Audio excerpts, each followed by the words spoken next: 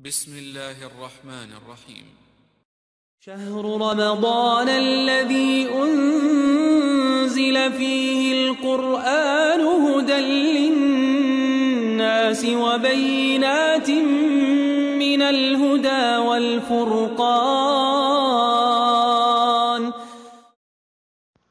ওয়ালাইকুম আসসালাম রহমতুল্লাহি ওবরাকাতুহ একজনের প্রশ্ন হচ্ছে কিভাবে জিহবাকে নিয়ন্ত্রণে রাখা যায় আর আল্লাহ ভীতি কীভাবে বাড়ানো যায়? জীবকে নিয়ন্ত্রণে রাখার কিছু উপায় রয়েছে। সেগুলোর মধ্যে একটা হচ্ছে আল্লাহর জিকির করা।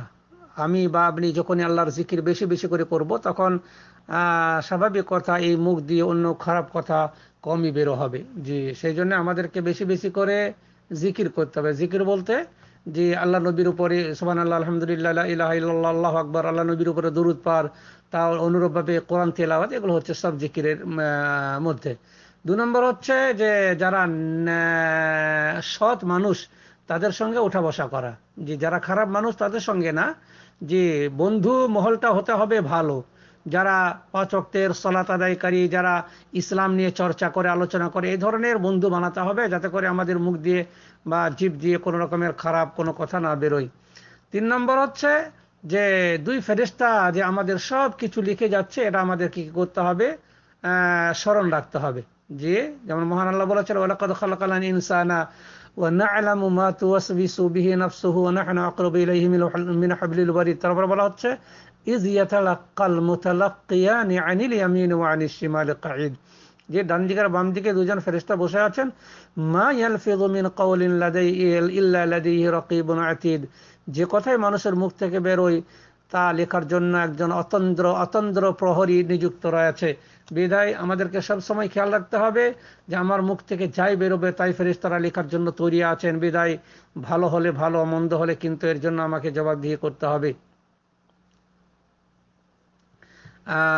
তারপরে আপনার আরেকটা হচ্ছে যে, জিহবার বা যে জীবকে নিয়ন্ত্রণে রাখলে এর যে কি গুণ, যে এর কি গুণ, সেগুলো স্মরণ রাখতে হবে। যেমন আল্লাহ রসুল সাল্লাহ আলী আসাল্লাম বলেছেন যে, দুই চোয়ালের মাঝে এবং দুই পায়ের মাঝে তার মানে জিহবা এবং লজ্জাস্থানের সংরক্ষণের দায়িত্ব যে নেবে, আমি তার জন্য জান্নাতের দায়িত্ব নিচ্ছি, এগুলো স্মরণ রাখতে হবে।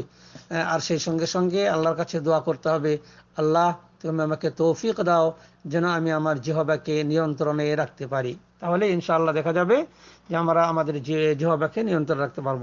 আল্লাহর ভীতি বাড়ানোর জন্য তাই আহ, কবরের আজাবকে স্মরণ করতে হবে জাহান্নামের আজাবকে স্মরণ করতে হবে তারপরে আপনার যে তারপরে কোনো কিছু পাপ করলে, কোনো কিছু পাপ করলে যে এর জন্য আমাকে জাহান্নামের আজাব বা কবরে আজাব আমাকে ভোগ করতে হবে, এই কথাগুলো যখন আমরা স্মরণ করব, তখনই আমাদের আল্লাহ ভীতি না ধীরে ধীরে বাড়বে ইনশাআল্লাহ।